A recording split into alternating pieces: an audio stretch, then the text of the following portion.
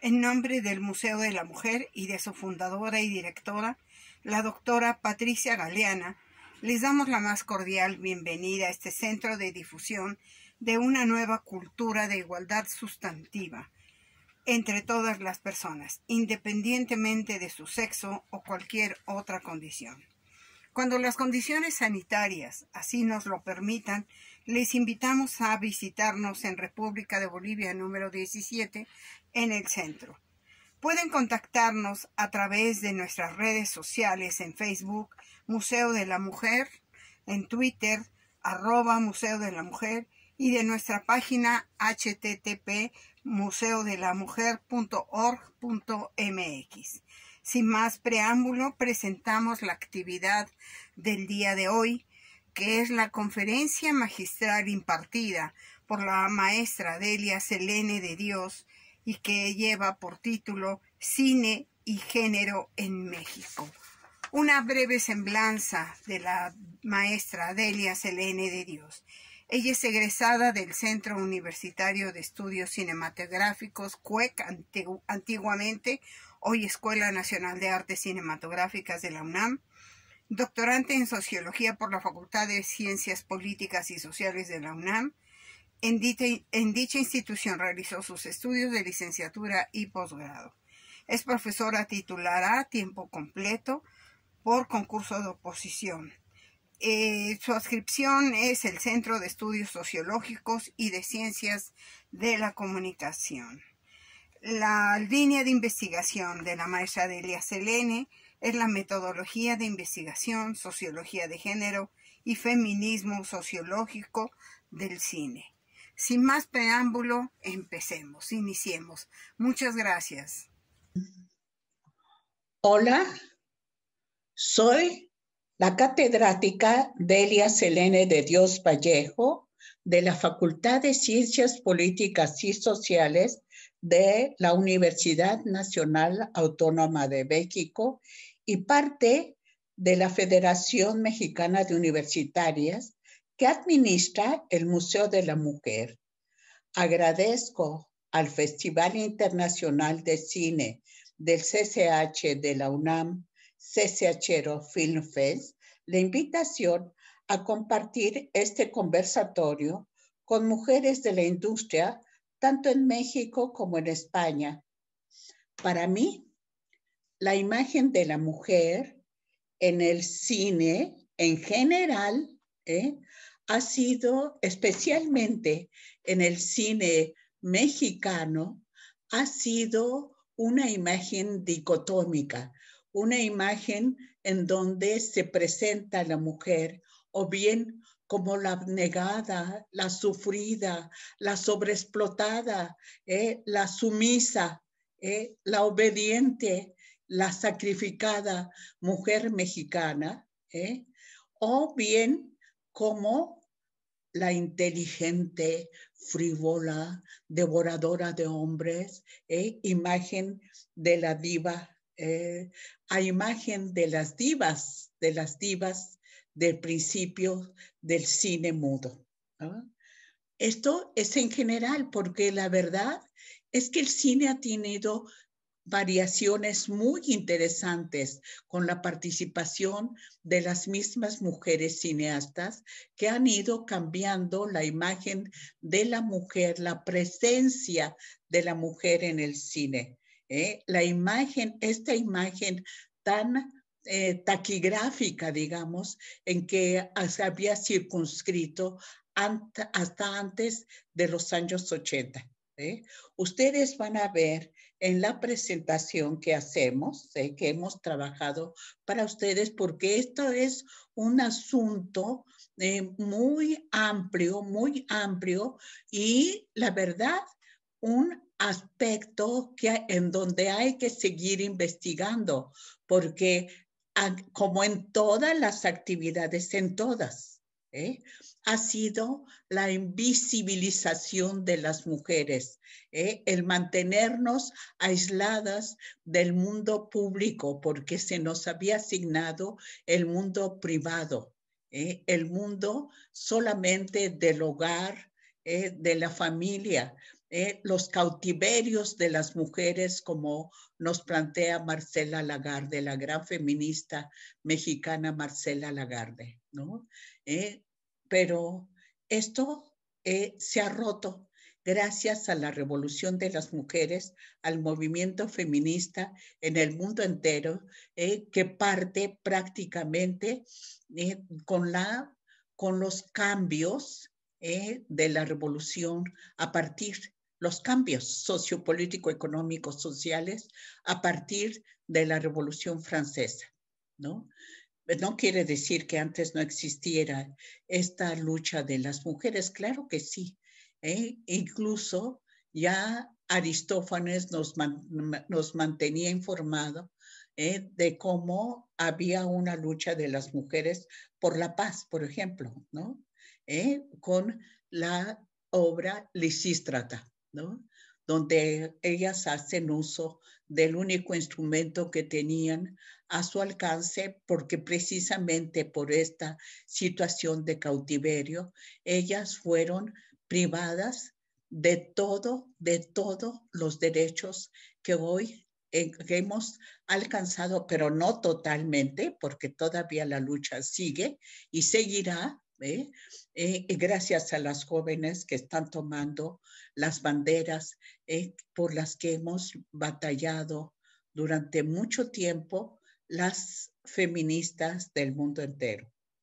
Bueno, ustedes van a tener la presentación aquí de nuestro trabajo para poder arrancar a la discusión y a la presentación ya les he dicho que muchas gracias al CCHero Film Fest, el Festival de Cine de los CCHs de la UNAM. Vamos a hablar del cine y género en México, en México. ¿eh? Pues bueno, aquí tienen ustedes eh, nuestro trabajo ¿eh? para que ustedes puedan juzgarlo y pero espero que sirva para poder hacer como un estímulo para seguir investigando. Bueno, ya Lev Tolstoy Nikolaevich decía, considero al cinematógrafo como un espectáculo instructivo e inteligente que tiene un gran valor como instrumento didáctico, porque eso es un instrumento didáctico, esta, de esta parte de la industria cultural de la manipulación de las conciencias. Bueno, vamos a ver qué es el cine. El cine, el cine es un medio de comunicación masiva de la industria cultural. Eh, se relaciona con los seres humanos cuando ellos reciben su mensaje, cuando consumen este producto intangible. El vocablo cine es un apócofe del cinematógrafo, del griego kinema, movimiento, y grafiem, registrar. Primero fue cinema, ahora simplemente cine. Quiere decir que es un registro de imagen en movimiento. El cine en su producción es sumamente complejo. Es un fenómeno sociocultural, económico, estético, educativo, ideológico. Es producto también para la evasión, para el entretenimiento, para la manipulación de las conciencias. ¿eh? Es una extraordinaria fuente de información de todo tipo. ¿eh? Es decir, el cine es de manera simultánea arte, industria, comercio, técnica. Al ser aplicada la ciencia en él, es propaganda, es medio de diversión al mirarlo en los tiempos de ocio evasión. En él existen todas las bellas artes que se conjugan para contar, para narrar, para crear belleza icónica, sonora y en movimiento. Sin embargo, por accidente, por accidente, un hombre de teatro descubrió el espectáculo en el cine, ¿eh? porque esto fue creado por los hermanos Lumière ¿eh? y fue otro francés, Georges Méliès, ¿eh? quien descubrió el cine como espectáculo, porque antes solamente era para investigar sobre el movimiento, una investigación científica. ¿eh? Y bueno, afortunadamente los creadores del cine, eh, que estos son creadores los franceses, porque también, también Edison ha discutido discutía ¿eh? que el creador de cine era él, pero bueno, la verdad es que tenemos que hacerle honor a quien honor merece y son los hermanos Lumière.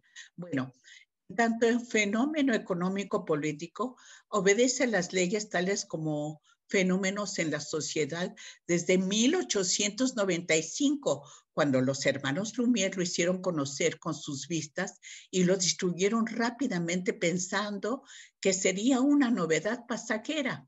¿Eh? como lo era. Afortunadamente se equivocaron. Millones de personas ven el cine y sus conductas, sus modos de vida, sus pautas morales, sociales, son impactadas por, por el cine espectáculo. El cine está dirigido a un público masivo. Su invención es tanto más importante que la imprenta. A través del cine se envían mensajes subliminales de manera que el ojo humano no puede detectarlo conscientemente. El cine forma parte de nuestra cultura en él. En él se manifiestan múltiples ideologías influyentes en la, conducta de las personas en sociedad. ¿eh? En nuestro trabajo observamos la facultad del alma. Con ella se presenta la mujer, la capacidad creadora de los cineastas, con la cual quienes la han presentado en movimiento con luces y sombras, blanco y negro, o coloridas sonorizaciones en movimiento, en fines proyectados en, pantalla en medio de un ambiente oscuro y pretendidamente silencioso. Así en la sala cinematográfica donde les el espectador, presa de un estado casi hipnótico, absorbe tales imágenes, tales figuras, esas representaciones, semejanzas y apariencias de mujeres ubicadas en diversas épocas históricas en el cinematógrafo. Imagen de latín y mago figura. Aquí la representación viva y eficaz de ideología, manipulación, poder, inducción, influencia, poder, dominación, sexismo o refuerzo de las pautas culturales a través del lenguaje cinematográfico manejado predominantemente por el género masculino. Sin embargo, la presencia e imagen femenina también ha sido creada delante de otras en el mismo paraje cinematográfico. La presencia como actual memoria de una especie de representación de ella, la vamos a observar en géneros, en géneros, ¿eh? el género. Pero bueno, vamos a ver otra, otra la palabra género en español se refiere a la clase, especie, a un tipo al cual pertenecen las personas o las cosas, al modo o manera de hacer algo, es decir, así los sustantivos, adjetivos, artículos y pronombres neutros se hacen presentes. En la sociedad, ¿eh? el género afecta a hombres y mujeres.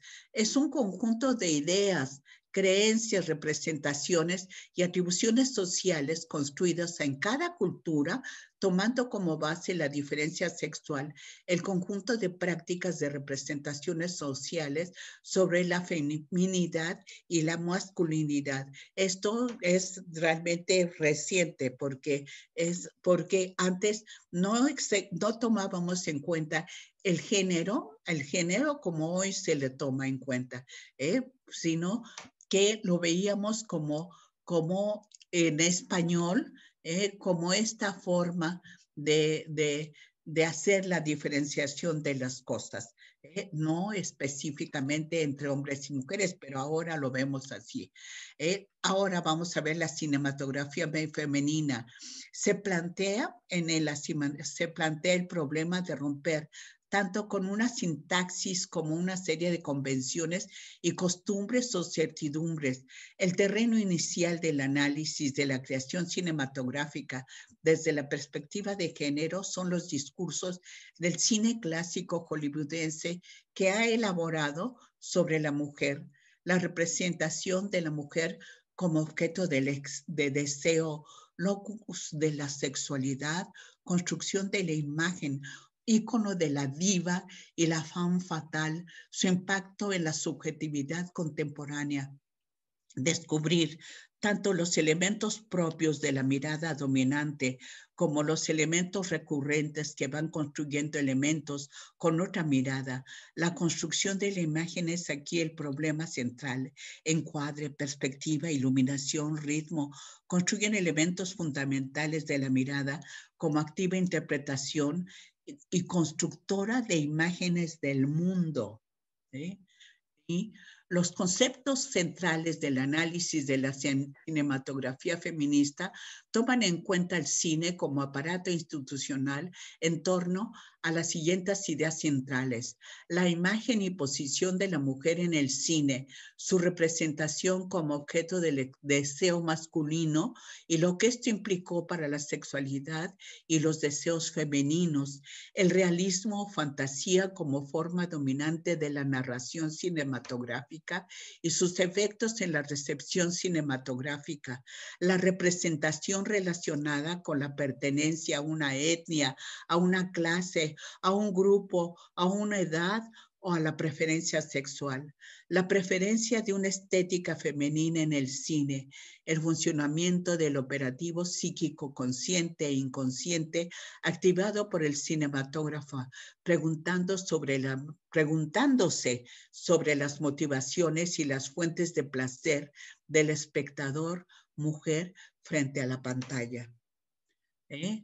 Bueno, hagamos un análisis de época, bueno, también de una ideología y de la dependencia del cine mexicano respecto al norteamericano fundamentalmente en el contexto de la globalización e imperialismo capitalista contemporáneo como afirma De Laurentiis en 1987, la crítica cinematográfica feminista se había ocupado de analizar la sexualización de la, de la actriz femenina en el cine clásico, así como de las técnicas cinemáticas, encuadre, iluminación, edición y de los códigos, el sistema de la mirada que construyen a las mujeres como imagen, objeto de la mirada del espectador.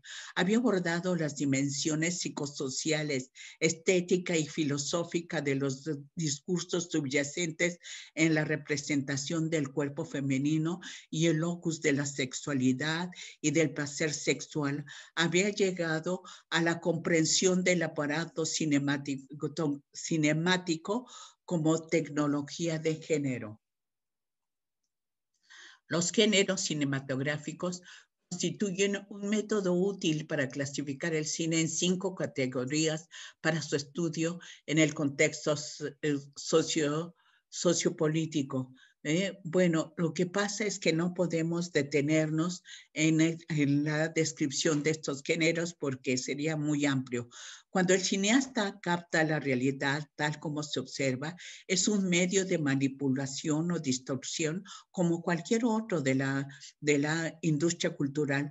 Adopta siempre un punto determinado al colocar la cámara y el proceso de edición, los documentos fílmicos se pueden abordar eh, en estos se pueden abordar temas históricos, sociológicos, etnográficos, antropológicos, científicos, políticos, musicales, de encuesta y muchísimos otros más, porque la verdad es de una gran riqueza, porque la cinematografía engloba a todas las artes, eh, a todas las artes, además eh, de hacer uso de la técnica y de todas las leyes desde un punto de vista económico, político, social, ¿no? Y, cultural, desde luego, ¿no? Entonces, es amplísimo. Forma parte de la industria cultural.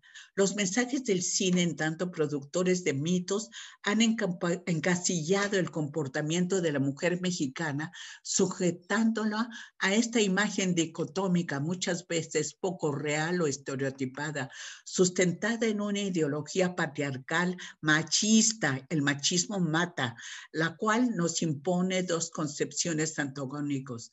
La mujer buena, abnegada, sumisa, pura, casta a través de la imagen de la madre fundamentalmente y en contraposición con la mala mujer, frívola, ambiciosa, traidora, inteligente, reflejada en el papel de la prostituta.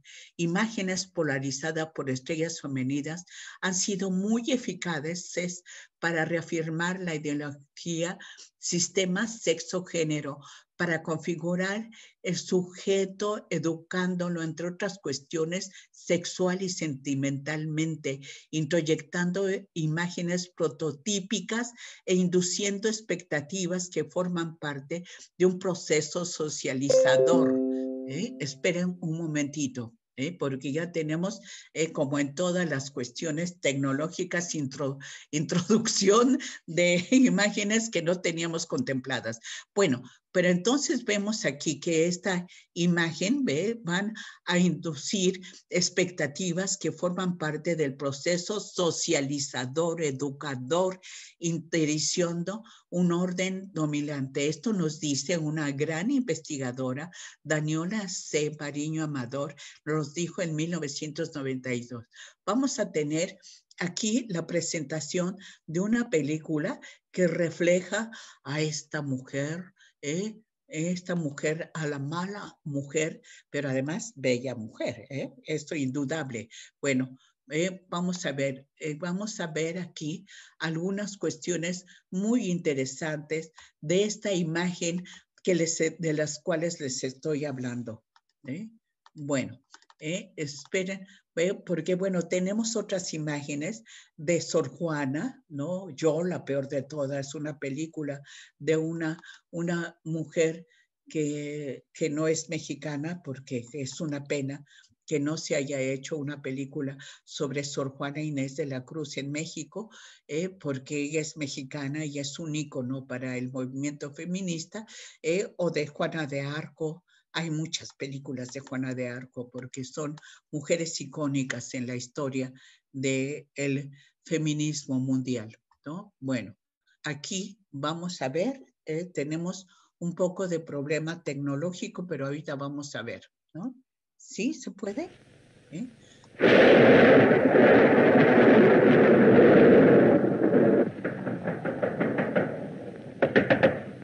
Ángela, Ángela. ¿Qué quieres? Ángela, necesito hablar contigo. Hablaremos mañana, no me molestes. Ángela, no comprendes. Estoy arruinado. ¿Eh?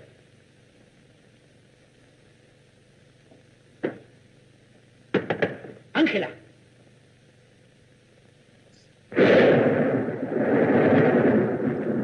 ¿Qué has dicho? Estoy arruinado. El dinero no se detiene mucho tiempo en manos de los imbéciles. Por favor, Ángela, ¿qué haremos? ¿Cómo que qué haremos? Di mejor qué harás tú.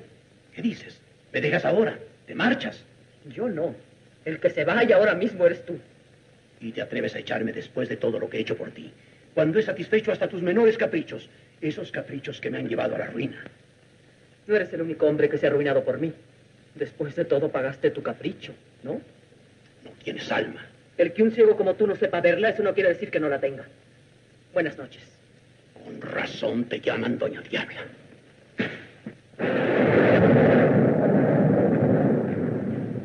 Carmela. Señora, empaca todas las cosas de ese hombre y échalas a la calle inmediatamente.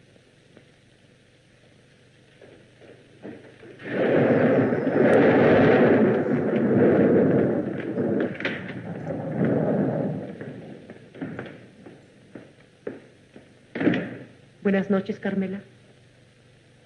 Buenas noches, señora.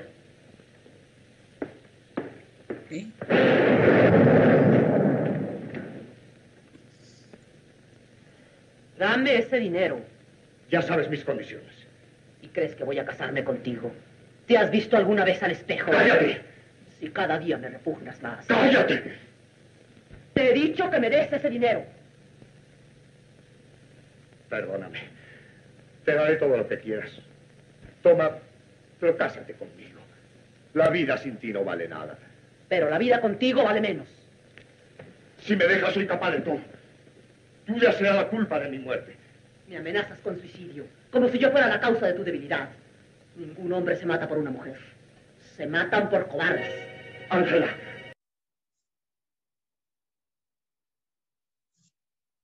Bueno, han ustedes visto la actuación de María Félix en Doña Diabla, pero también es Doña Bárbara. ¿eh? Eso es muy interesante, mirar esta imagen de la mujer que no es, es la contraparte de la mujer buena, abnegada, sumisa, pura, casta, etcétera, ¿eh? que de la madre mexicana ¿eh? pero también, bueno, de la mujer insatisfecha, ¿no? Porque también esto es una cosa eh, que se refleja bastante en las mujeres.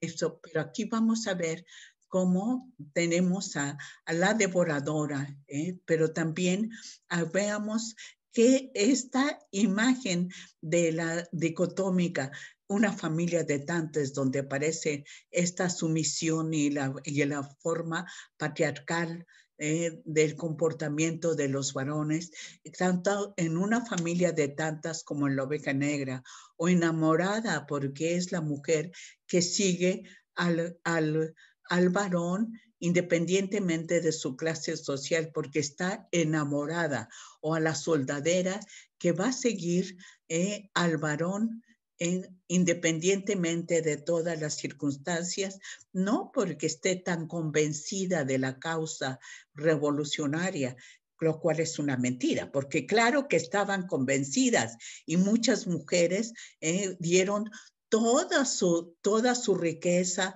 ayudaron de múltiples formas y tomaron las armas en los movimientos revolucionarios mexicanos. Y como han estado presentes en todos los cambios sociales, económicos, políticos y sociales, pero han sido las, hemos sido las mujeres, eh, las invisibles de la historia. Bueno, eh, Manjarres Rosas dice, consideran que es importante conocer, analizar, comprender a través de las imágenes y fragmentos de películas el papel que desarrollaban las mujeres en la época de oro del cine mexicano. ¿eh? No solamente basta con verlas, sino saber qué dicen, quién lo dice y por qué lo dicen, para poder establecer con mayor claridad el significado de los estereotipos que manejan, porque ya vimos que no siempre manejan las situaciones reales. Ya lo vemos aquí como en la devoradora, la oveja negra enamorada, la soldadera, que revelan temas sensibles a través del lenguaje cinematográfico y provocan una gran identificación entre mujeres que aún tienen este estereotipo en el mundo actual, ¿no? Porque esto es, esto es una verdad. ¿eh? Ahora verán lo que nos dice el gran e inteligente Monsiváis. Los modelos de vida y los valores que el cine mexicano de la época proyectó en la pantalla cumplieron la doble función de presentar estereotipos con los que el público podía identificarse y ser guías de comportamiento, de lenguaje, de costumbres, de prácticas culturales, las relaciones de parentesco, la maternidad, el adulterio, el trato varonil, la belleza como feminidad, la pobreza sobrellevada con honradez, la riqueza entendida como desgracia. Así, el cine de época de, de la época de oro participó en la elaboración de una identidad nacional y popular, ayudando a consolidar elementos identitarios ¿eh? divulgados en un primer momento por la Revolución Mexicana y, y, que posteriormente el cine volvió típicos y fácilmente imitables. Esto nos dice, ¿no? Que tiene la, frase precisa, Mosivas, para definir a la cinematografía de la época de oro. Autos sacramentales de mexicanidad que no ofrecen realismo, sino más bien nobles visiones de coraje, de grandeza de la tierra, del machismo y del espíritu, femenino.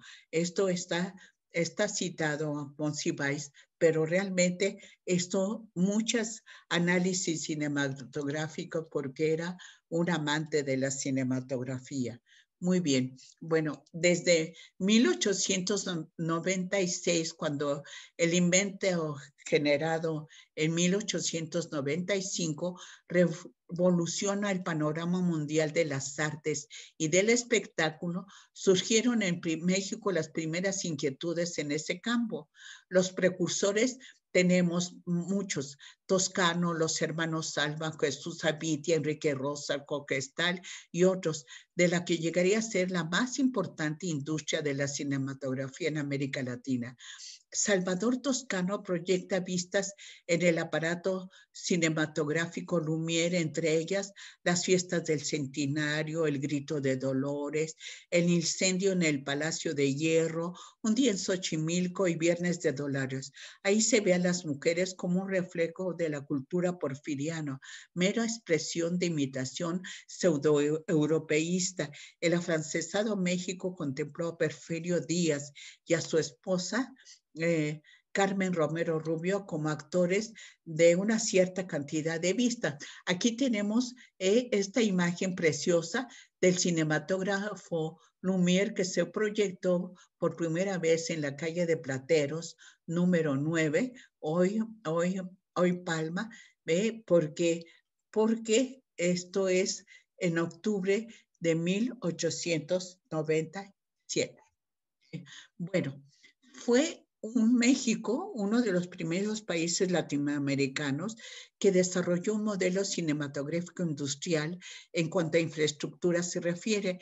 Ya en 1935, la nacional productora contaba con tres foros de filmación, al igual que su potencia con, su competencia México Films.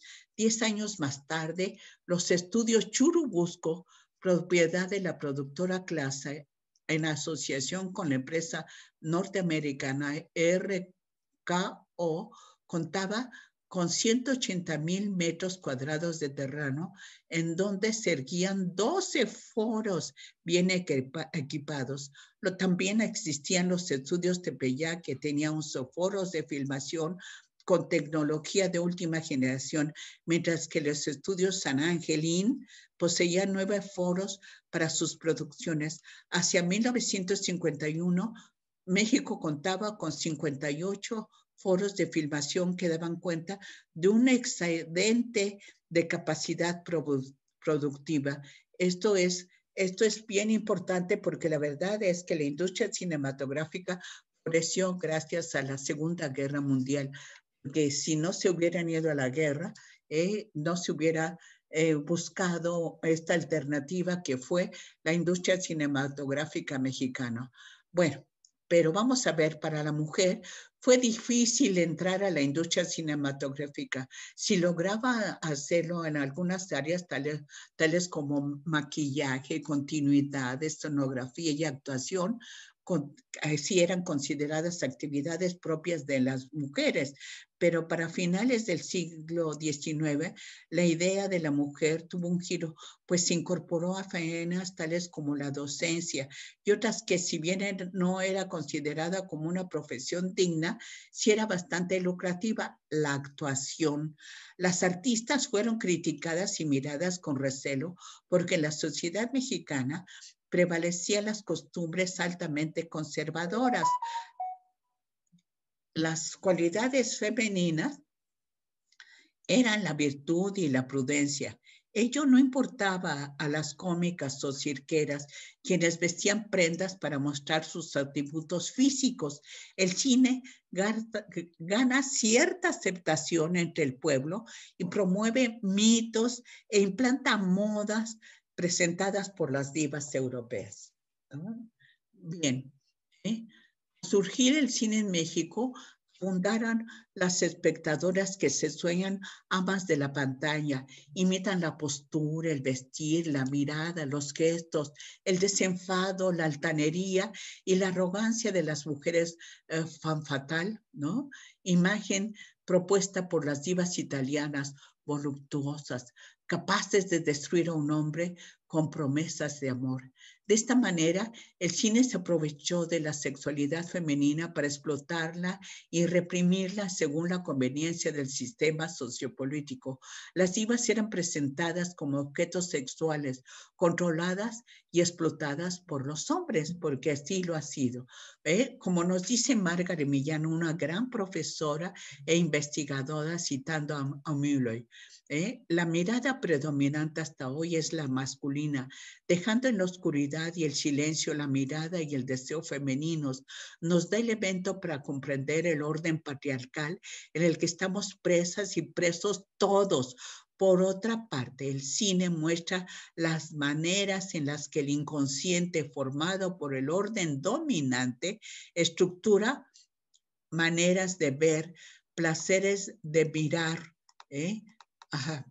Bueno, a ver, vamos a ver.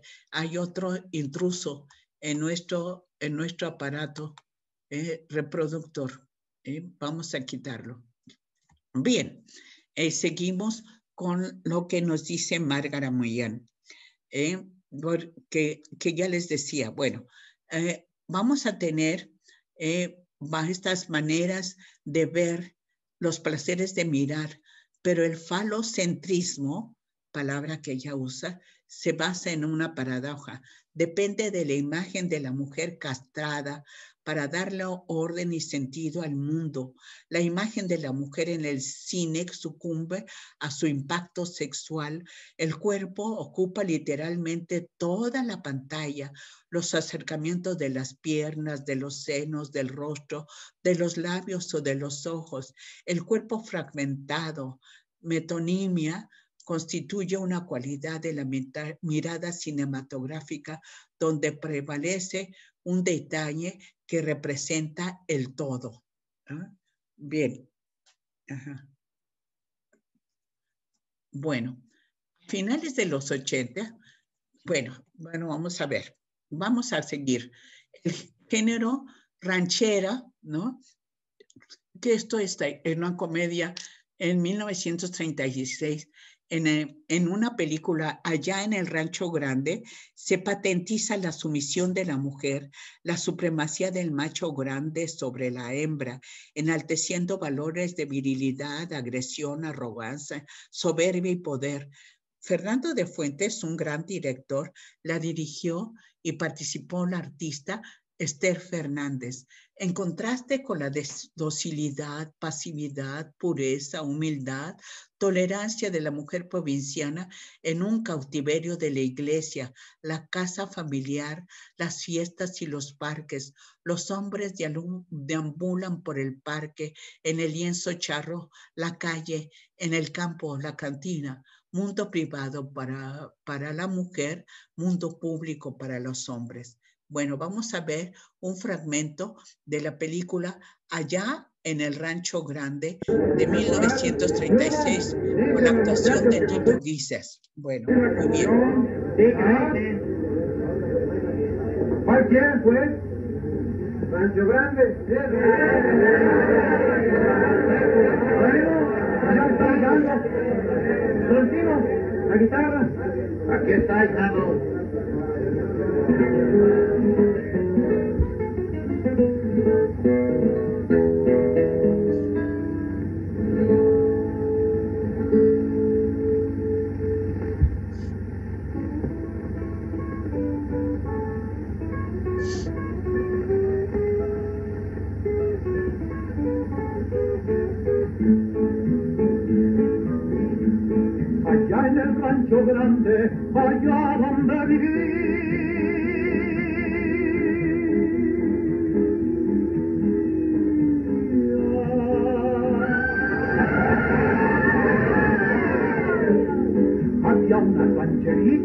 Que alegre me decía, que alegre me decía.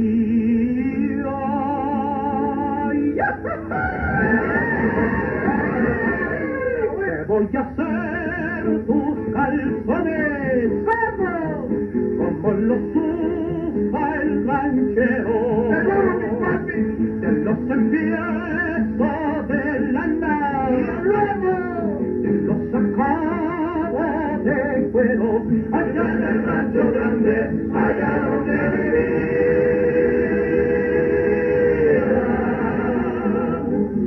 Había una rancherita que alegre me decía, que alegre me decía.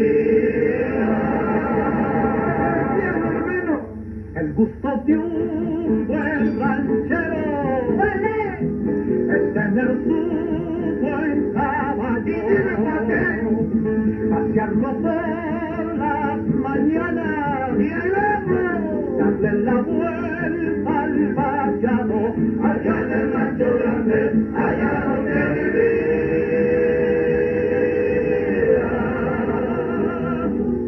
Había una rancherita que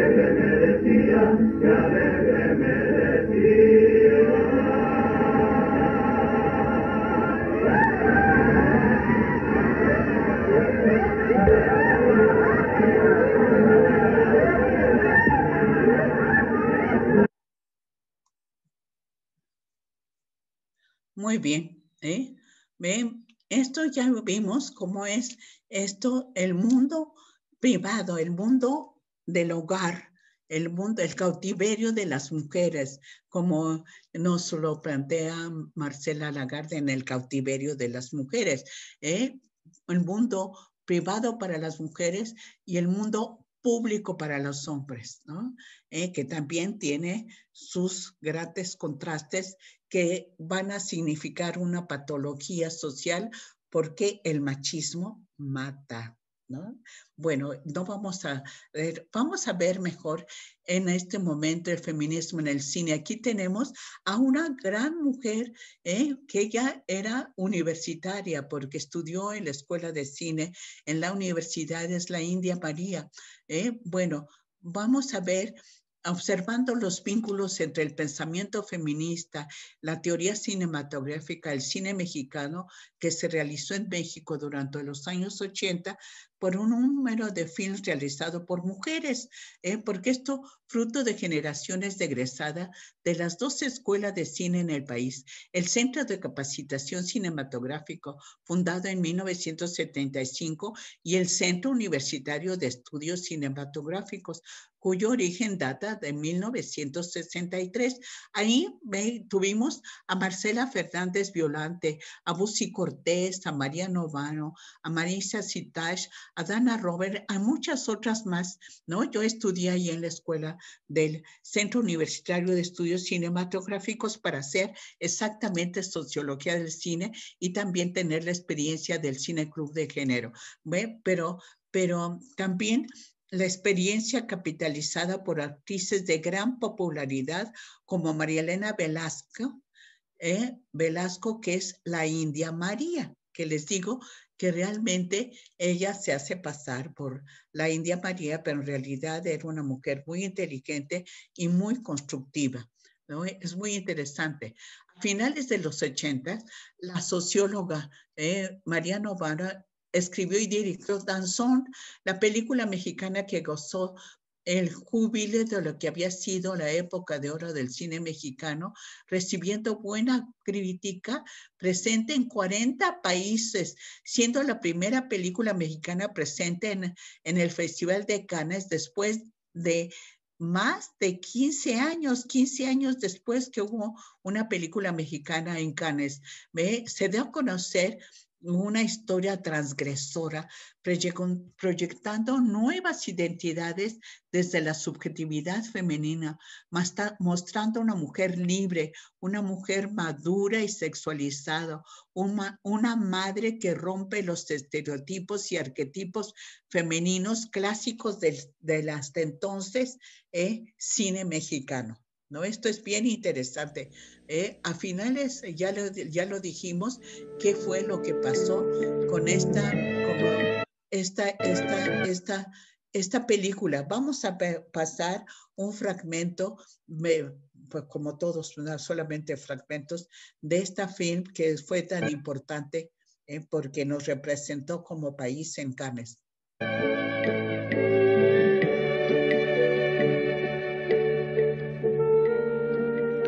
Always asking myself questions about what it is to be a woman.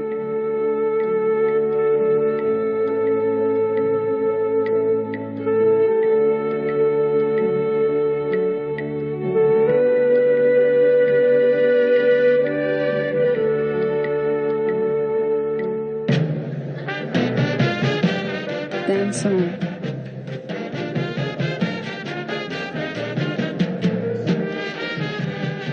Poetic dissertation on the sexes that traces a woman's search for the perfect partner.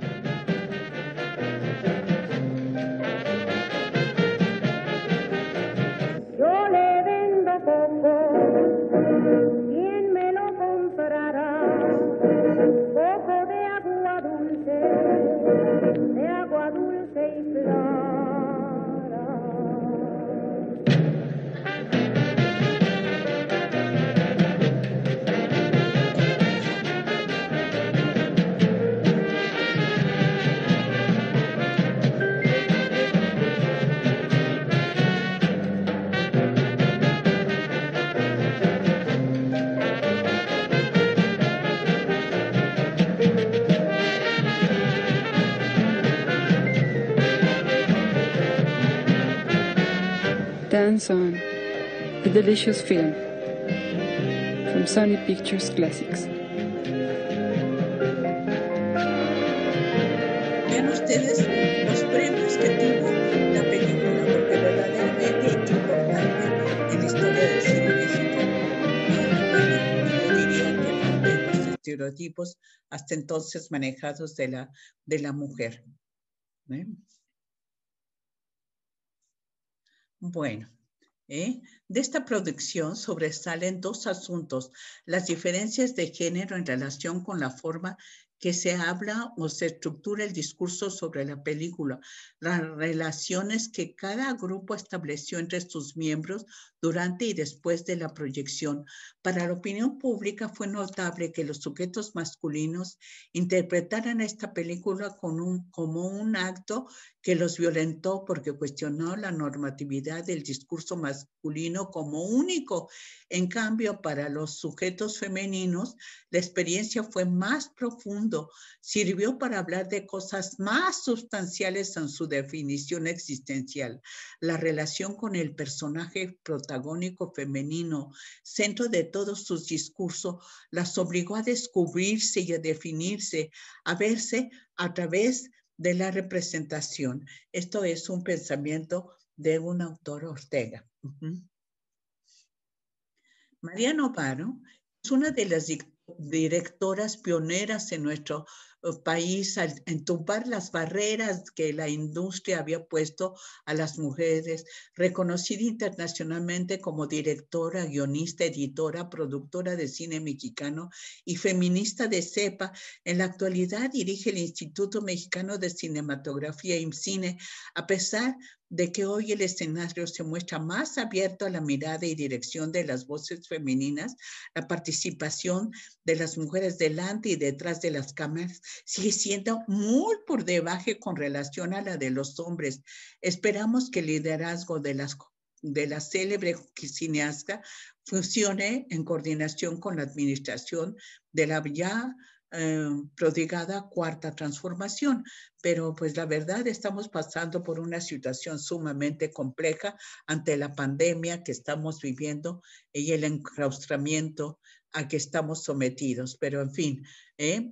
En la época de los 80, la cartelera se enriqueció con la exhibición de 11 largometrajes de ficción. En ese lapso, sin excepción, Todas estas directores rechazaron el apelativo de cineastas feministas o de creadoras de cine de mujeres. No obstante, un análisis más cercano de su obra permite detectar los ecos de un pensamiento que promovía la ampliación de la agenda social, donde las mujeres desempeñaron varios roles, preguntando sobre sus relaciones interpersonales, condiciones históricas y políticas de su época e interrogaron los supuestos del patriarcado, ¿eh? los cuestionaron.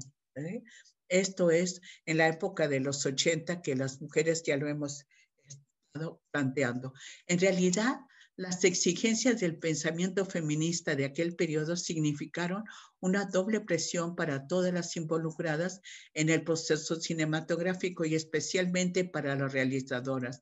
Fueron recibidas con frialdad casi generalizada y múltiples, múltiples objeciones para la crítica masculina poco sensible a las redefiniciones de esos productos cinematográficos estaban proponiendo, que estaban proponiendo sobre múltiples campos de la vida, por mencionar algunas, la subjetividad femenina, la maternidad, las relaciones de pareja, las condiciones de explotación de la doble jornada, la, irrupción en el espacio público.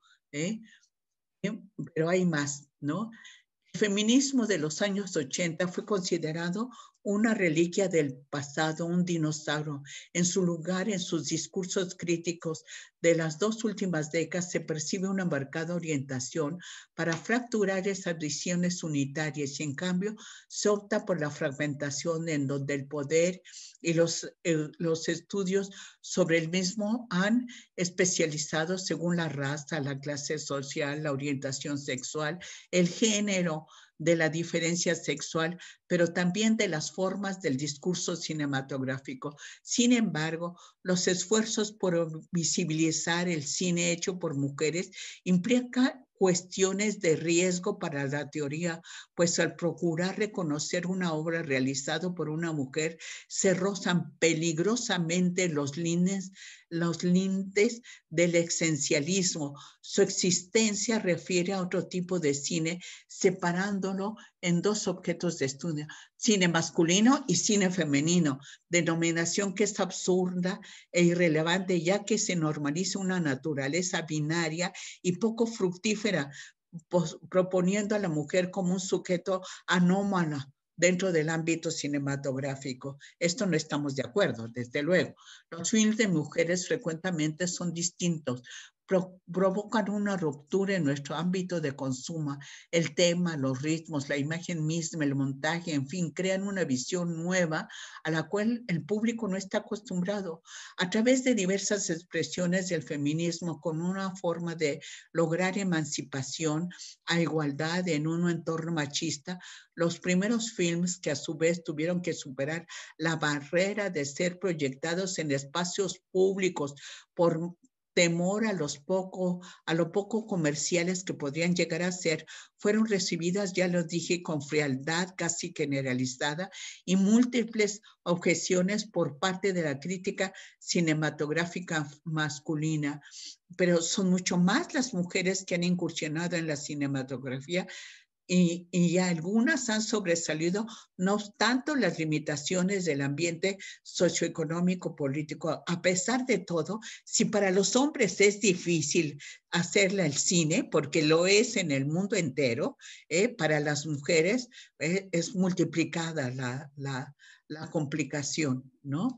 Eh, como nos cita Patricia Gaitán en el blog El Gato Pardo. Según los datos de la UNESCO y Focus del Observatorio Audiovisual Europeo, México está entre los 20 países con mayor producción y en los tres primeros lugares de Latinoamérica. Sobre esta información es necesario recalcar que de esos 176 largometrajes, 34% fueron producidos por y, 30% por mujeres, lo que implica que ni siquiera un 40% de las películas mexicanas es producido o escrito por una mujer, y esto sin adentrarnos a espacios de creación como la dirección o la dirección fotográfica, donde la participación de la mujer es casi nula. Es necesario plantear que la inequidad de género en la industria del cine mexicano no responde únicamente a la falta de espacios y apoyos a la mujer como creadora, sino que responde a una serie de prácticas, usos y costumbres de una sociedad mexicana que aún vive dominada por un sistema binario inequitativo. La inequidad de género es un hecho. ¿eh? La primera parte de su investigación nos, menciona Patricia Gaitán en 2018 sobre una revisión exhaustiva a la propia industria del cine mexicano, a quienes se inscriben en ella observando la propia estructura de creación con intención de hacer visible las prácticas de exclusión que se realizan constantemente en la industria cinematográfica mexicana, donde la mujer queda relegada y ocupa una minoría en espacios de creación. Vean ustedes estas gráficas, eh, estas tablas gráficas consultadas en IMCINE en 2016, tomadas del gato pardo. Eh. Vean ustedes, se realizaron de 2016 162 películas, 37 37 fueron dirigidas por mujeres. Ven ustedes qué pocas. Ahora, del 2007 al 2016, 2007, ocho películas realizadas por mujeres, dirigidas por mujeres. 2008, cinco. 2009, siete. 2010, 15. 2011, 18, 2012, 23, 2013, 22, 2014, 25, 2015, 34, 2016, 37. ¿Ven ustedes cuál, cuál disparidad eh, existe? ¿Cuánta? ¿Cuánta? ¿Ve? Ahora miren ustedes, aquí también tenemos otras gráficas eh, que participación de mujeres en 10 películas mexicanas más taquilleras en los años 2000 a 2016, pero aquí los vamos. En dirección tenemos cero, en, guionistas dos, en producción, ¿no? Producción ejecutiva, ¿eh? Eh, tenemos una paridad. Dirección de arte, en edición, tres, siete varones. En guionistas, dos mujeres, ocho varones. Dirección de fotografía, cero, cero. En edición, dos. Y no crean que no ha habido grandes, grandes editoras, grandes productoras, eh, guionistas, en fin. Bueno, bueno, ahora vean ustedes estos del 2010 al 2017, 16, ¿no? Tenemos una buena cantidad de hombres, ¿eh? aquí están sus nombres, ¿eh? Pero vean, solamente dos mujeres, ¿eh? Salma Hayek y Tatiana Hueso. Dos, dos, dos. Vean ustedes cómo está la situación de los premios obtenidos por cineastas. Como podemos observar en dichas gráficas, la participación de la mujer es muy escasa según datos de Ortega en la en Cultura del 2020. El 42% de cineastas en México son mujeres, pero de los apoyos entregados por FOPROCINE Fidecine, Eficine. Entre 1998 y 2016, los proyectos de mujeres directoras recibieron solamente el 18.6% de apoyo económico, mientras que el entregado a hombres directores fue de 81.3%. Cifras que lanzan una alarma del poco apoyo y participación de las mujeres en la industria cinematográfica. Tan solo en 2018, según los datos del Anuario Estadístico del Cine Mexicano que presenta el Instituto Mexicano de Cinematografía en CIME, de las 186 películas producidas, 47 fueron producidas por mujeres, es decir, la cuarta parte. Y aunque parezca un dato menor, las producciones lideradas por creadoras nacionales han obtenido reconocimientos en festivales especializados dentro y fuera del país, amplificando la voz femenina del cine mexicano. ¿Eh? La revista Formes en su publicación ampliación artística, el cine mexicano vive una revolución femenina.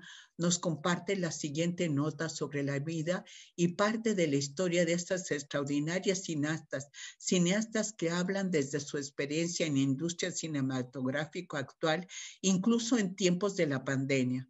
En los últimos años, la industria cinematográfica nacional ha demostrado ser semillero de talento y fuente de poderosas historias. Por ello, cada vez es más común observar la trascendencia de los cineastas mexicanos cuyas producciones llegan a todo el planeta. En este contexto también se consolida una nueva realidad. El cine mexicano vive una revolución femenina. ¿Eh? Fíjense ustedes ¿Qué nos dice la Beristain, que es una gran cineasta? En mi caso he entendido la grandísima responsabilidad que implica dirigir grandes equipos de trabajo. Es un, un mensaje de que mi voz tiene presencia y es capaz de atraer a más mujeres a la industria. Eso afirma. No obstante, le sorprende que incluso en esta época haya equipos de trabajo que ni siquiera consideren que las mujeres puedan desempeñar su trabajo de manera eficaz. En contraparte, ella resalta lo peligroso que podría llegar a ser a cubrir una cuota de género en el cine, porque no se trata de eso. ¿eh? Se trata de, si se cubre una cuota de género, que deba haber una mujer directora, ahí entra lo delicado. Al meternos a todas en el mismo costal, como si mi manera de filmar fuera igual a la, de, a la de mis compañeras, porque somos mujeres, eso no es cierto, ¿no? Es una discusión que está sobre la mesa, nos dice la Beristain, ¿no? Porque eso es la verdad. hay cine bueno, cine malo, eh, hagan hombres o mujeres, pero también lo que paga esta disparidad. Lila Avilés llegó al cine procedente del mundo del teatro, materializando anhelos que mantenía vivos desde pequeña. Su ópera prima, La Camarista, le llevó a recorrer, a recorrer los más importantes festivales del cine del mundo. Su éxito fue tal que la producción fue considerada para representar a México en los premios Oscar. Alvilés considera, Lila, ¿eh? Que ser director en esta época es afortunada. Hay más apertura, somos más mujeres cada vez, no solo en la industria cinematográfica, sino en distintas áreas como las económicas, artísticas, culturales y políticas. La voz de la mujer cada vez es más escuchada y no como un susurro, sino como un grito poderoso que vibre y que se hace escuchar. Alejandra Márquez Abella en tanto descubrió que su interés por el cine provenía de una idea inculcada desde la cuna, sus padres historiadores de profesión estimularon mucho esta idea desde pequeña cuando se, inició en la fotografía fija. Cineasta, la cineasta cuenta Forbes Live que poco a poco logró imponerse en una industria dominada por hombres. Ella recuerda que muchas veces el equipo con el que trabajó quedaba sorprendida al verla tomar el set de grabaciones, tanto por su juventud como por el hecho de ser mujer. Es un camino muy duro para cualquiera, difícil sí, ¿eh? pero aún más para las mujeres que deben esforzarse el doble y demostrar continuamente que pueden con la presión y con la responsabilidad, nos afirma Alejandra Márquez Abella. Bueno, aunque considera que el mundo cambiado gracias a la revolución feminista y al trabajo de muchas generaciones de mujeres, la directora del film Las Niñas Bien piensa en el camino por, que el camino por recorrer aún es largo. Pareciera aunque estuviéramos entrando de una forma más contundente a la conversación y la realidad. Y sí, es cierto, pero hay más mujeres directoras de cine, más productoras, pero seguimos siendo una minoría. Finaliza esta directora de las niñas bien pleno confinamiento, confinamiento ahora, las, las creadoras compartieron su sentir respecto a la crisis generada por la pandemia. A Lilia Vilés, el tiempo en casa le ha brindado la oportunidad de retomar algunos proyectos pendientes en lo que regresa a sus actividades regulares. Para Natalia Beristain, la situación detonó el paro total de su agenda, una producción original para Apple, Apple Más, la segunda temporada de Luis Miguel, la serie para Netflix, así como la creación de su próximo proyecto cinematográfico, atraviesan, de acuerdo con sus palabras, una fase de incertidumbre absoluta. La situación no ha sido muy distinta para Alejandra Márquez Abella. La directora estaba a punto de arrancar la grabación de una serie a la que tuvo que declinar para enfocarse en su aislamiento. Afortunadamente esto ha repercutido en sacar adelante sus proyectos de escritura, aunque asegura no tener un panorama o análisis de cómo se reactivará, se reactivará la industria después de la pandemia. La cineasta sabe que esto será desafiante, pero siempre lo ha sido, ¿eh? No es ahora, es siempre. ¿eh? Bueno, aun cuando el cine mexicano y el cine en el mundo ha restringido la participación femenina, encontramos a mujeres en este breve recuento, el cual sin duda da pie a mayor indagación acerca del tema. Seguramente nuestra misión aún es incompleta. Esperamos sirva de aliciente a la investigación futura.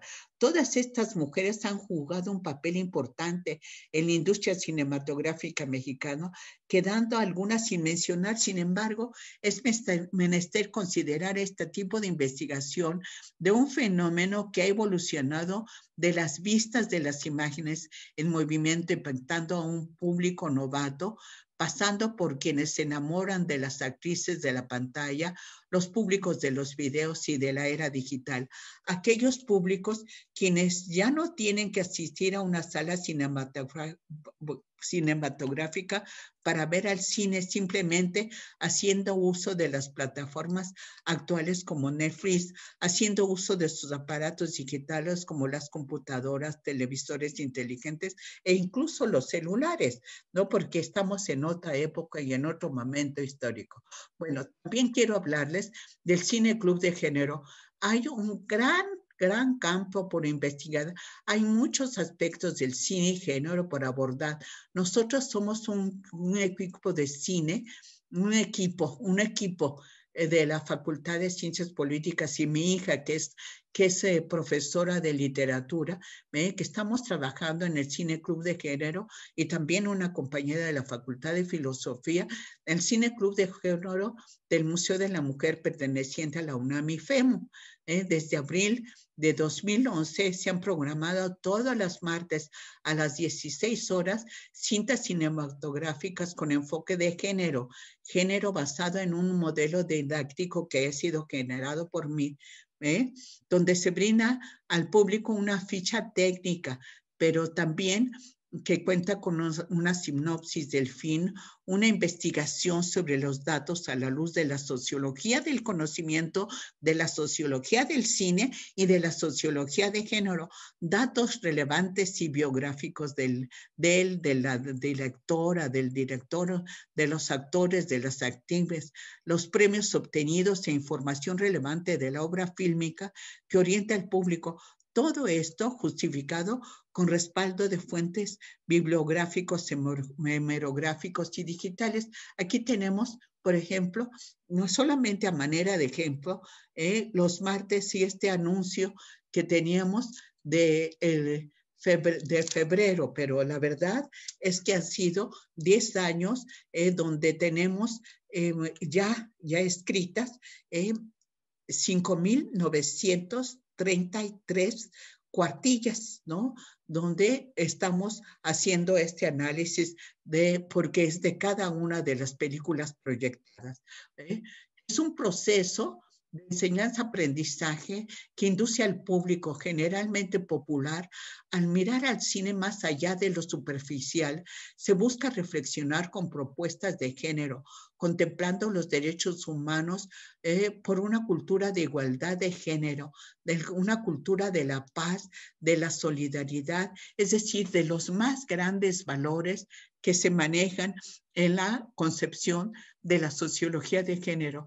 La participación del público enriquece sobremanera las sesiones, tan amplio como el espectro social son los temas para abordar en el Cine Club de, de género.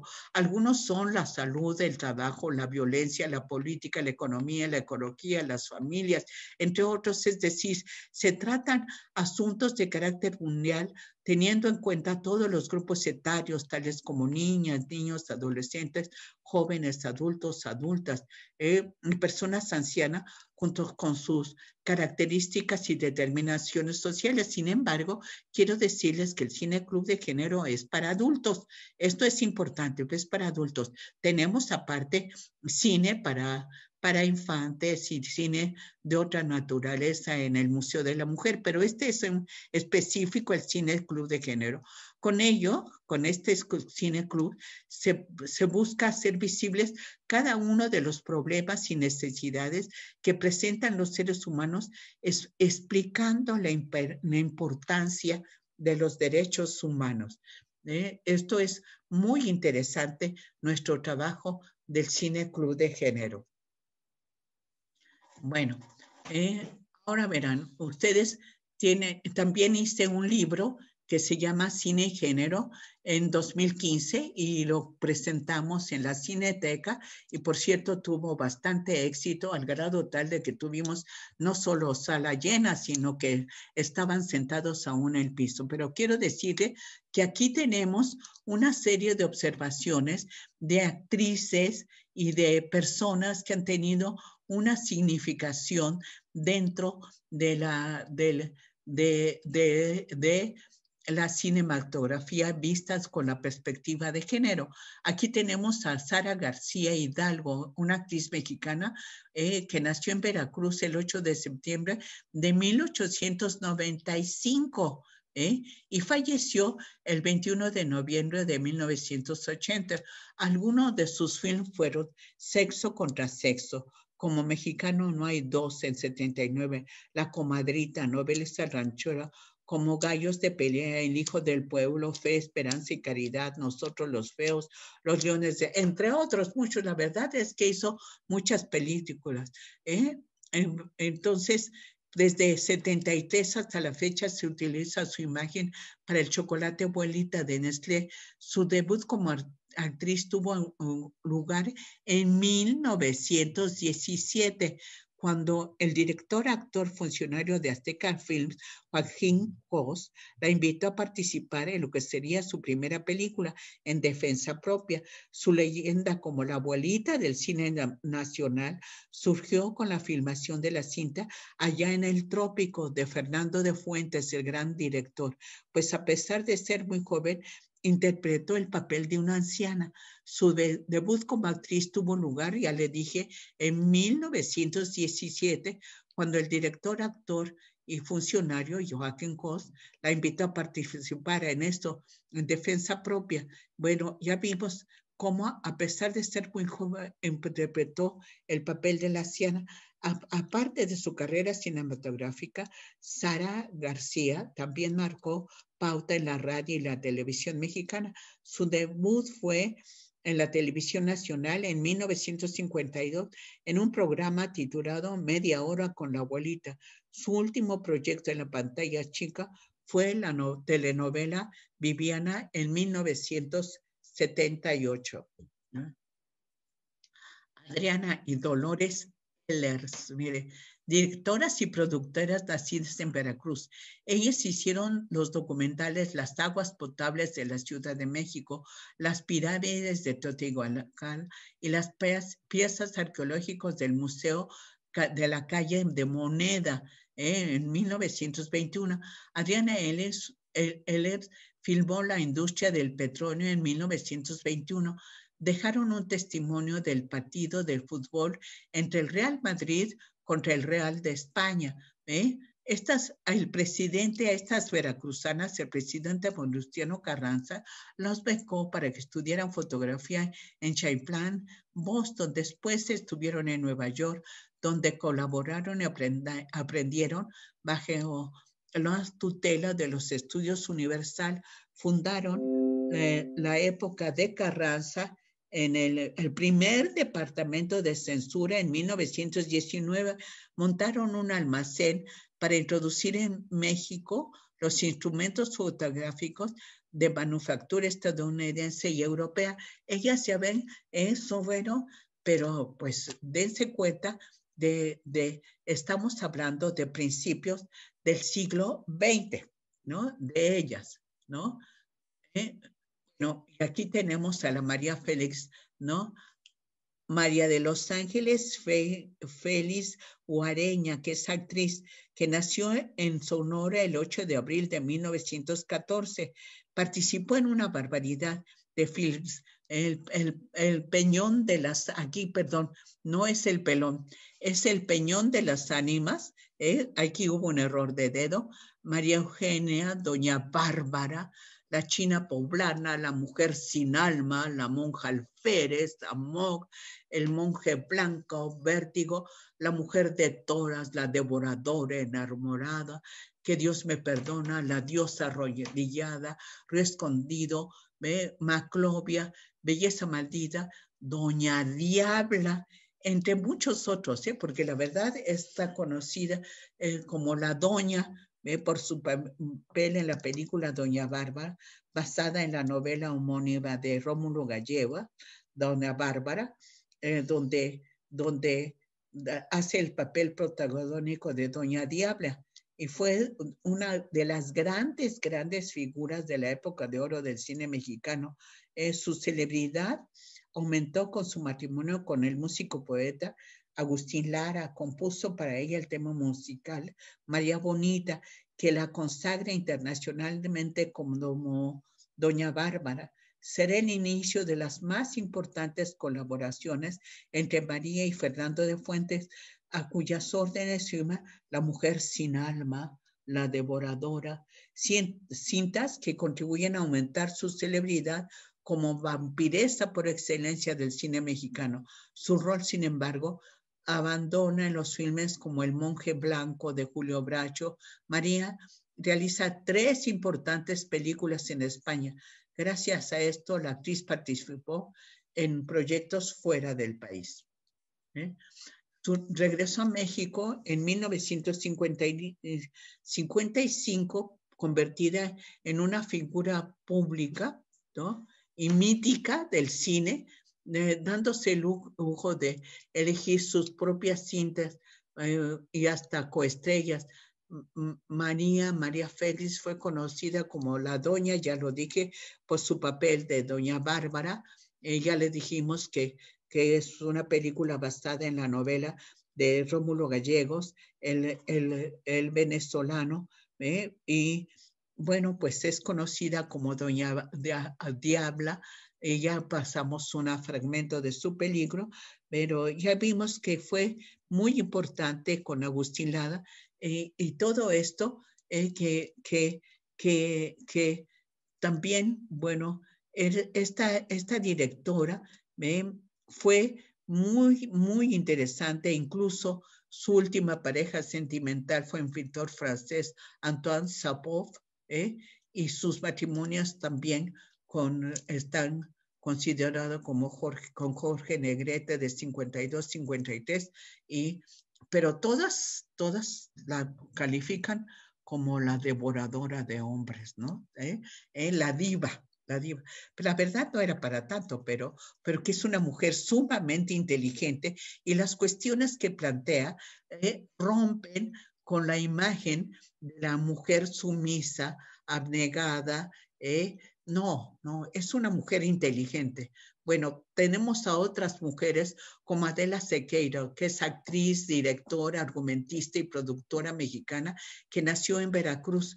Ella hizo La mujer de Nadia, Tabismo, El hijo de la loca, No materás, un drama en la aristocracia, Los compañeros del silencio, Sendero Gris, El prisionero 13, Mujeres sin alma, Venganza suprema, Más allá de la muerte, Diablillos del arrabal. ¿ve?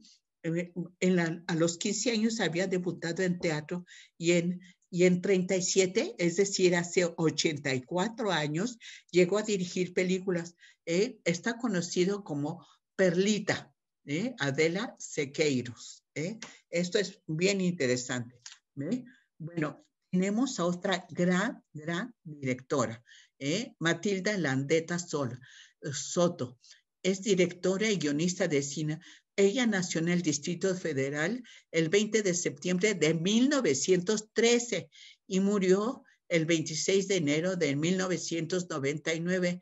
Eh, ella hizo, filmó, dirigió La Negra Angustia, Lola Casanova, La Trotacalles, El Camino de la Vida, Siempre estaré contigo, Ronda Revolucionaria y Nocturna a Rosario. No crean que le fue tan fácil, nada, nada. Pero Matilde Landeta sí fue muy, muy, muy importante dentro de la cinematografía. Incluso llegó a enseñar posteriormente algunas de las directoras actuales como, como, como la Marcela Fernández Violante. Bueno, pero en 45 la Landeta comenzó a hacer asistencia de director para para de los grandes directores como Julio Bracho, Agustín Delgado, y el, Indio Fernández, entre otros. En 48 director, fue directora con Lola Casanova, pero para realizarla hipotecó su casa para fundar la productora Tacma SADCB, porque ninguna productora confiaba en que una mujer pudiera realizar cine. También impartió clases de cine en el Instituto Cinematográfico, primera escuela formal de cine, dirigido por Celestino Gorostiza, y de historia del cine en la Academia Andrés Soler, fundó la sala Tlalpan en ese barrio para difundir el cine mexicano. Estuvo a cargo de la supervisión de guiones en el Banco de Guiones de la SOGEN, de la Sociedad General de Escritores en México. Fue merecedora de los siguientes homenajes en Sorrento, Italia, el grupo feminista la, Las Nemesiacas. ¿eh? Fíjense ustedes qué interesante, porque la verdad fue muy importante dentro de la cinematografía y muy valiente. Le rindió homenaje y exhibió películas en el Festival de Cine Femenino en La Habana, Cuba. Se le otorgó un diploma de reconocimiento en el octavo Festival Internacional del Nuevo Cine Latinoamericano por ser una de, las pioneras del cine latinoamericano hecho por mujeres en 1988. En México se le rindió un homenaje a iniciativa de la SOGEM de las secciones de directores y autores de la STPC, el Sindicato de Trabajadores de la Producción Cinematográfica y de la Asociación de Realizadores, Directores de Cine, Radio y Televisión. En esta ceremonia se le entregó una placa alusiva a sus 40 años como directora y guionista, a los 56 años dentro de la industria cinematográfica en 1988. Recibió también la medalla Filmoteca en un homenaje rendido por la Dirección de Actividades Cinematográficas de la UNAM en 1988 y en el marco del Festival Internacional del Cine de Mujeres de Critiel se le celebró en 1988 en París, Francia, un homenaje. Y en 1992 el IMCINE, Instituto Mexicano de Cinematografía, le hizo un reconocimiento por su trayectoria. Vean ustedes que la verdad fue una mujer finalmente muy reconocida porque la verdad batalló bastante. Tenemos a otra gran, gran mujer dentro del cine mexicano, María Dolores Asunzo, Asunzolo y López Negrete de Martínez del Río. Actriz nació en Durango el 3 de agosto de 1904 y falleció el 11 de abril de 1983. Él hizo muchas películas, pero entre ellos Flor Silvestre en 43, María Candelaria, Las Abandonadas, Bugambilia, La Selva de Fuego, La Otra, La, la, la Casa Chica, La Malquerida, Deseada, Doña Perfecta, Reportaje, El Niño y la Niebla, ¿A dónde van nuestros hijos? La cucaracha, el pecado de una madre, casa de mujeres. Fue considerada una de las mujeres más bellas de su época, eh, porque quiero decirles que estuvo dentro del cine hollywoodense, ¿no? Porque era el rostro de, era el rostro de México en Hollywood, ¿no? y en el mundo entero, el, el, rostro femenino de México en el mundo entero. Y es una superestrella de la época muda, ¿eh? desde la época muda hasta el cine sonoro en Hollywood. ¿eh? Fue la primera figura femenina mexicana del espectáculo en ser reconocida en el nivel mundial. Entre sus esposas mencionaremos a Orson Welles, a quien le ayudó a crear el film. Ella le ayudó a Orson Welles a crear su film El Ciudadano Kane. ¿eh? Está aquí mal. El Ciudadano Kane.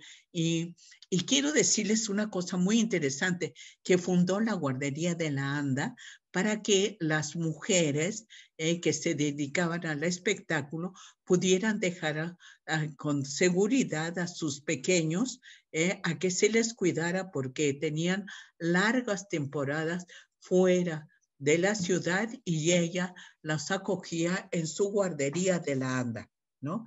Muy interesante. Ahora bueno, tenemos a otra gran mujer, a Esperanza Ides, eh, que también era cantante y actriz de teatro. Ella nació en Tabasco en 1888 y, fue, y falleció en noviembre de 1962. ¿eh? Hizo Mater Nostra y Noches de Gloria. ¿eh?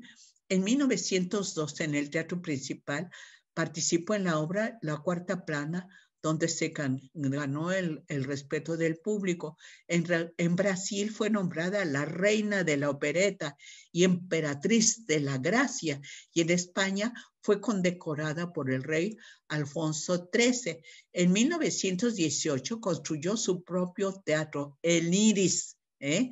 En, en 1922 fue declarada hija predilecta de México como homenaje a su trayectoria artística en México, los teatros estatales de Tabasco y del Distrito Federal son rebautizados como Teatros Esperanza Iris.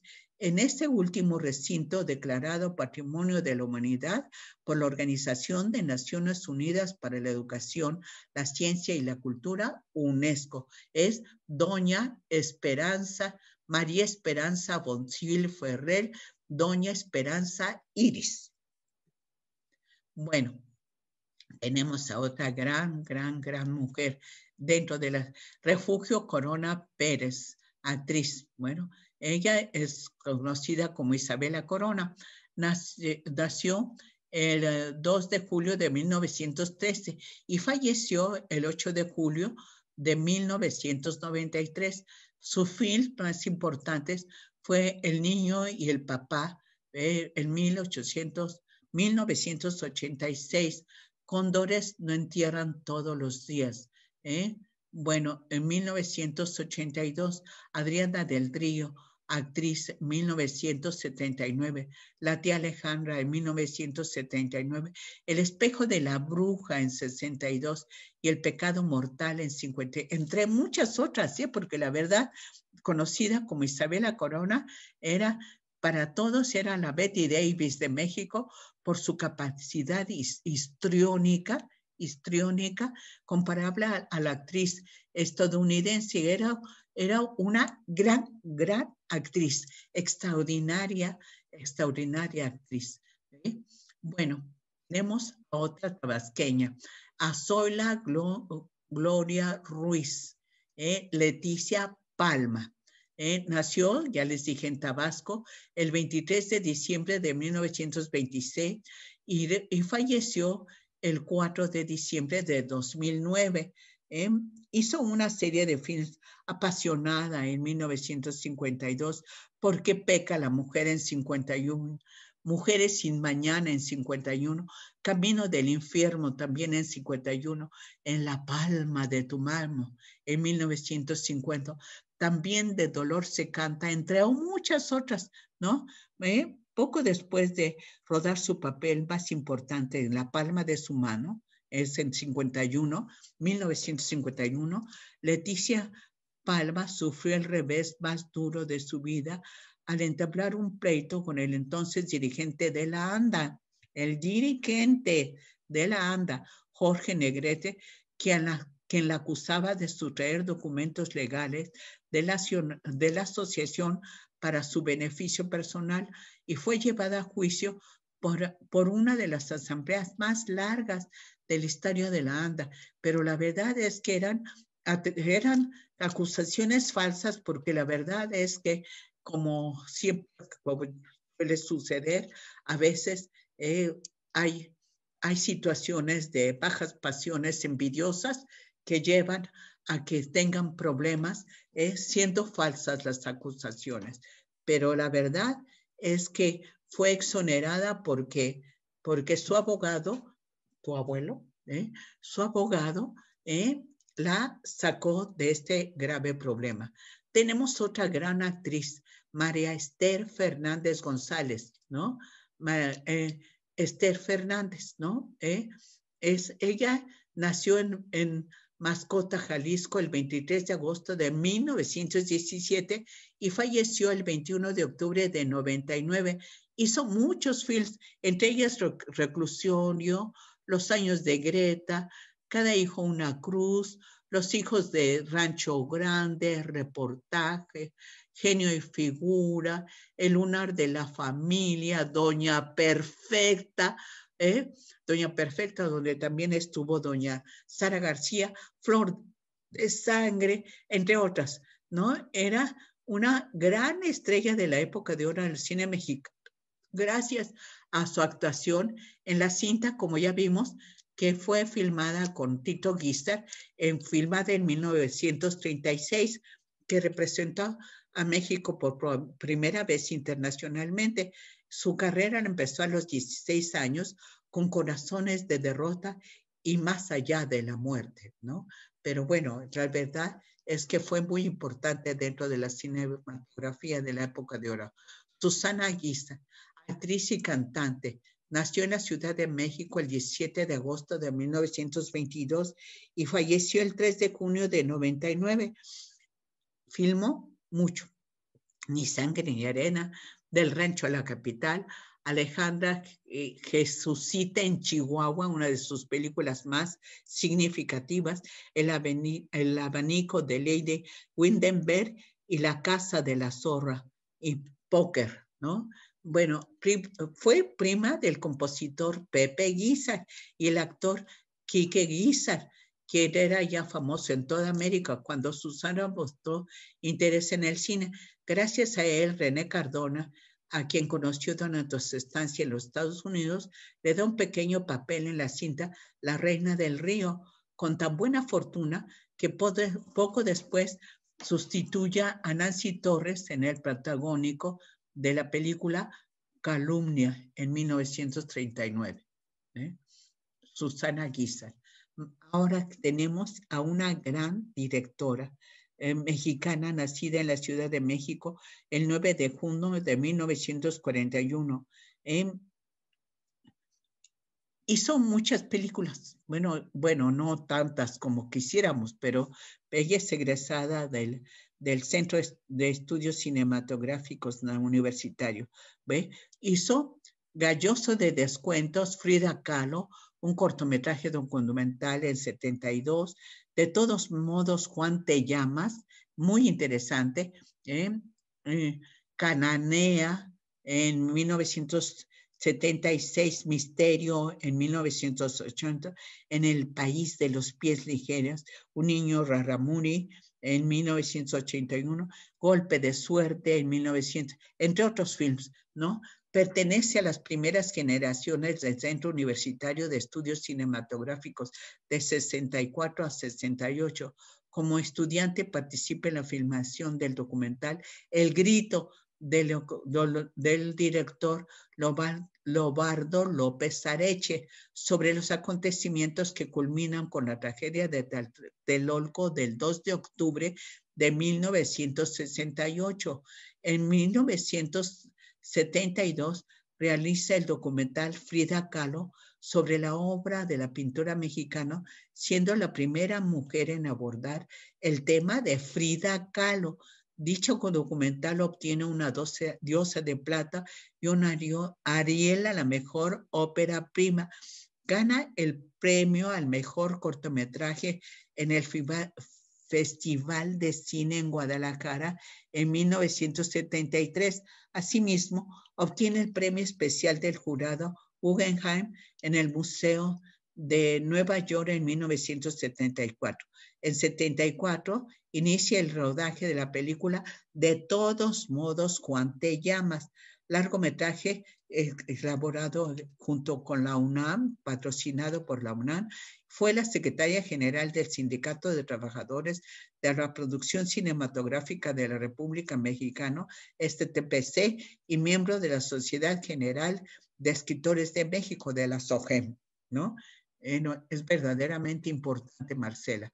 Bueno, eh, podemos seguir hablando de muchísimas más, pero la verdad es que yo creo que con esto les da un panorama general de lo mucho que hay que hacer aún para el cine, eh, donde se aborde la situación de la mujer en el cine, y bueno, en el cine mexicano sin duda alguna, pero en el cine del mundo entero, porque habrían de ver las cosas por las que tienen que pasar las mujeres para hacer las películas. Eh, pero es verdaderamente difícil.